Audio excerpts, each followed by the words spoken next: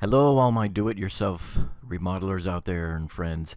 Hey, today we have a great video today for you. We're going to show you how to self-level a floor. We're going to show you how the pros do it for you. Okay, because it's very important when you're laying down tiling or, or installing laminate flooring. And we're going to show you how to make your self-leveling end up like this here so that when your floor is installed it will look nice and perfect and flat like this.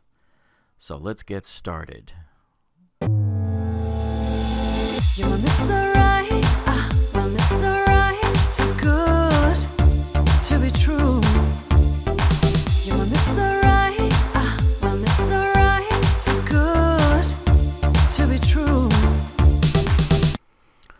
Okay, so let's show you a brief walkthrough. This is our cement slab here. It's a 15 by 25 foot room here.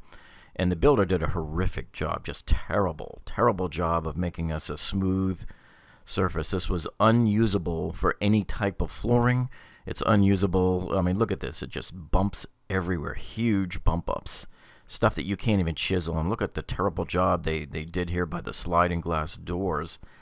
You can see what they actually had to do was they had to um, come in and patch it up even. And so it, it, everything here was unusable and just, you know, cracks everywhere. There's a chunk of rebar right there sticking up that's causing the floor to dome right there, you would never be able to use uh, or install any type of flooring.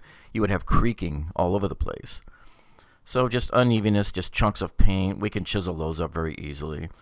Uh, so uh, with a, a room this size, it really does take a few people to pull this off because of the timing. The, the material they use is a fast setting uh, self-leveler. So they have to prep the floor first. And here you can see what the worker is doing here is he's using a diamond grinder uh, on his angle grinder and he's just going around the floor and they have to uh, chisel down and grind down all of the, the high points and try to make a, the, the surface look just kind of uh, smooth but yet somewhat rough and textured. And that's what he's doing. He's got the vacuum attached to it right now and just going around and the entire room. He, Probably takes him about an hour or so to do the entire room. It, it goes reasonably quick. And you can see there's zero dust because he's got his vacuum hooked up to it. And that's very important because otherwise you would you would just completely flood your entire house with a dusty fog if you did not use any type of vacuum on there. And there's what it looks like afterwards. It you know just leaves like little tracks around. And so now what they're doing is they're rolling on a bonding agent because you cannot just pour new cement on top of old cement. You have to use a bonding agent. And uh, now you can see here it is completely done there. They've put the bonding agent on and we're just waiting for it to dry. And it takes about 40 or 50 bags of the self-leveler cement here to do this entire floor. So you can see what they do is they had, they pour it and they mix an entire bag at once here. You see how it just levels? So mm-hmm. it, this is a very very fast setting. They've only got about two minutes to mix it, and something like three to five minutes to get it down on, on the floor.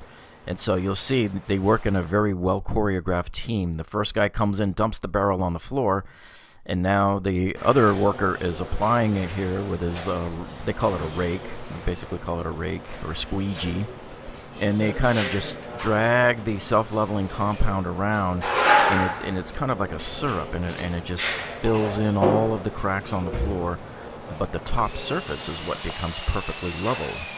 So it just looks like a lake of water, and you'll see the worker is walking around in these big boots here now. Um, these aren't exactly the correct boots to use. Yes, they're somewhat cleated, but uh, theoretically you want to use boots that have like um, metal spikes, like a nail almost, so that it leaves a very low profile, uh, like, like you could see his foot right there, it leaves a very low profile in the material as you're moving around.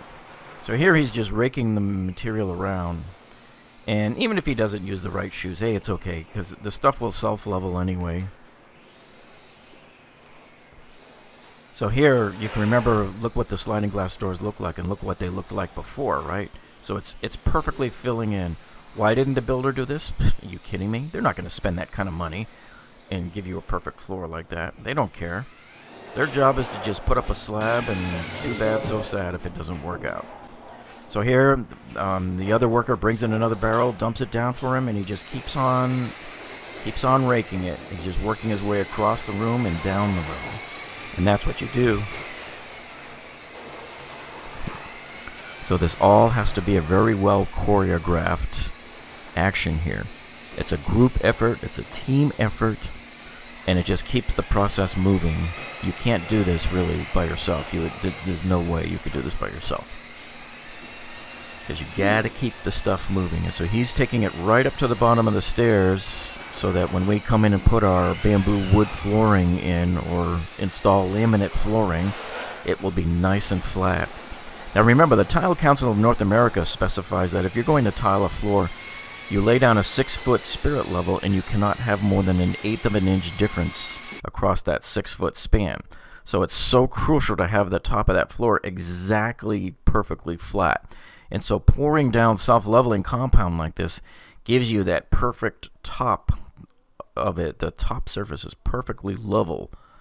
So you can see it looks like a lake of water there when he's done. So here they are all done, and it just looks like a lake in your living room.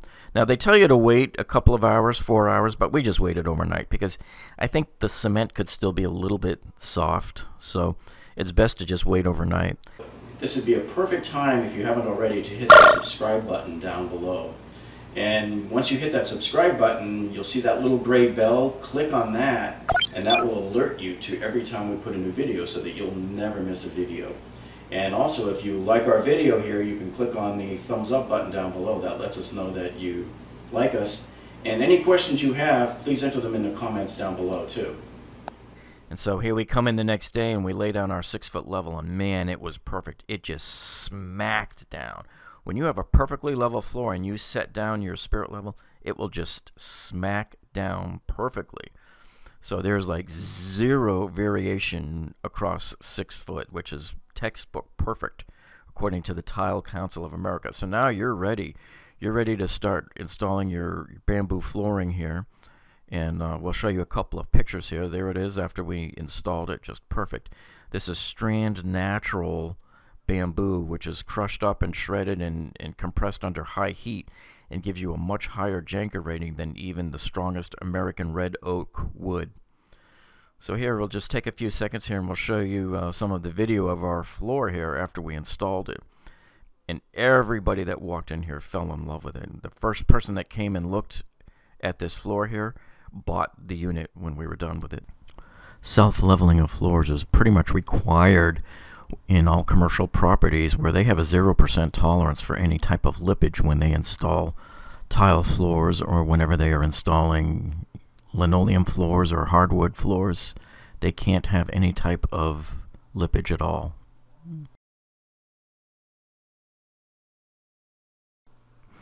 That's it for our video for this week, and thank you for stopping by, and we hope you have a great day. We'll see you on the next one.